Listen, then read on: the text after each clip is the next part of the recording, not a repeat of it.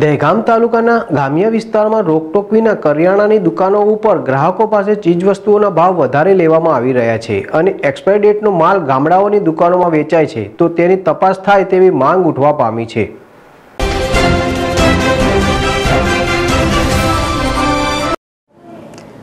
ગાંધીનગર જિલ્લાના દેગામ તાલુકાના ગ્રામ્ય વિસ્તારોમાં આવેલી કરિયાણાની દુકાનો સતત ચાલુ રાખવામાં આવે છે. અને આ દુકાનોમાં ગ્રાહકોની ઉગાડી લૂંટ ચલાવવામાં આવી રહી છે. તેમજ બજારમાં જે ચીજવસ્તુના ભાવ નક્કી કરે છે એના કરતાં વધારે લેવાની લોક ફરિયાદ વધી જવા પામી છે. અને આ દુકાન ઠંડા પીણા તેમજ એક્સપાયરી ડેટના માલ વેચવામાં આવી રહ્યો છે.